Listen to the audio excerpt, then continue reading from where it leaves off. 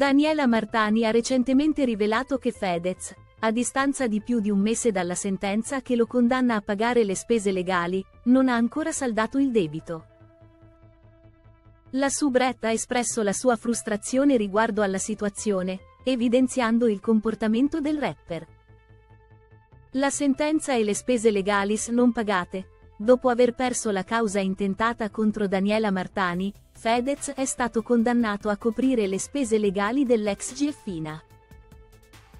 Questo fatto è derivato da un commento della Martani riguardante un episodio del 2018, definito da lei come due idioti palloni gonfiati.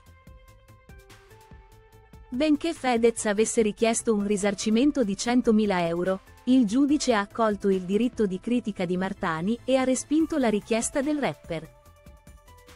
L'attuale situazione, mancanza di pagamento da parte di Fedez. Martani ha reso noto che, nonostante la sentenza immediatamente esecutiva a suo favore, Fedez non ha ancora provveduto al pagamento delle spese legali. La Subret ha dichiarato di non aver ricevuto neanche un centesimo dall'artista, esprimendo la sua delusione per l'atteggiamento del rapper.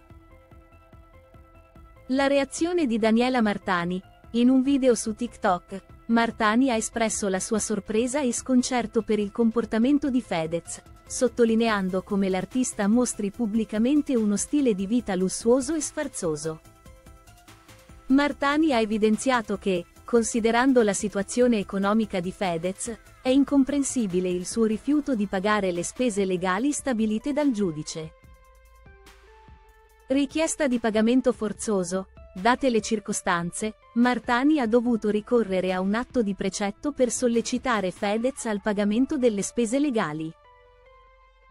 La Subret si è dichiarata profondamente scioccata e ha enfatizzato la sua perplessità nei confronti dell'atteggiamento dell'artista.